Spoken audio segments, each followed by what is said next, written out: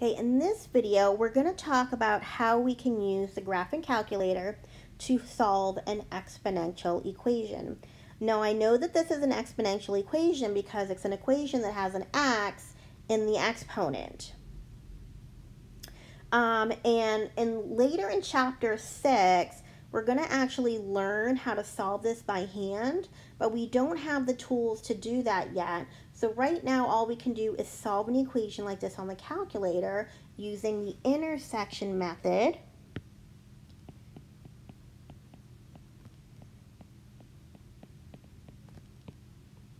on the calculator.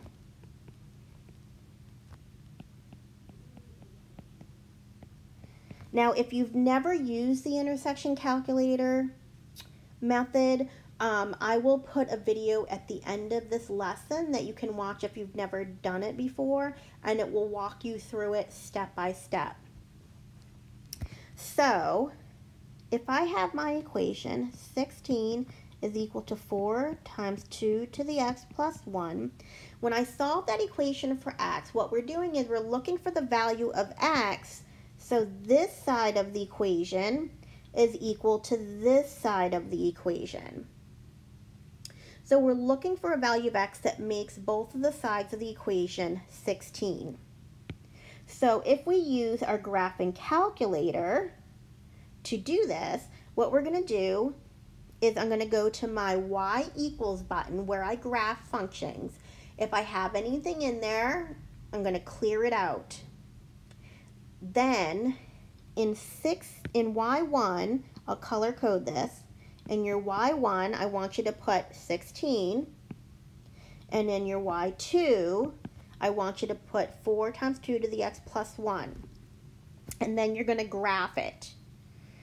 So when you graph your y1, your constant function y is equal to 16, you're just going to get a constant line y is equal to 16. It's going to pass through 16 on the y-axis. And when I do my blue function on the right-hand side, my exponential function, the y times 2 to the x plus 1, I'm going to get something that looks like this. This is my 4 times 2 to the x and then plus 1. So what we're doing is we're looking for the value of x so that those both are equivalent to 16. So what you're going to do is you're going to use the intersection method on your calculator to find this point right here where they cross because that is the value of x where they're the same. So when you use the intersection method on your calculator, you're going to find that this is approximately 1.91 if we round to two places. Now I say approximately because we're taking an estimated um, decimal value off the calculator. When we go to learn how to do this by hand, we're going to be able to find the exact value and not a rounded decimal. Now, if you have used your calculator before and it was on the standard viewing window, you're not going to see that line y is equal to 16 up at the top there because your standard viewing window goes from minus 10 to 10 on both axes. So you're not out far enough to see that line y equals 16. So if you have to adjust your window, you want to hit the window button on the top of your calculator and make sure that you adjust your window so that you can see that line y equals 16. And you can do that by just going to where it says y max and you just want to go out further than 10. So maybe make y max your 20 so that if it goes out to 20, you'll be able to see that line y equals 16.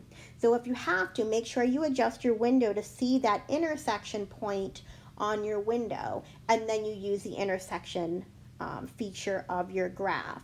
And again, I'm going to put that intersection um, uh, video at the end of the lesson. So if you've never used that feature on your calculator, it will walk you through it step by step.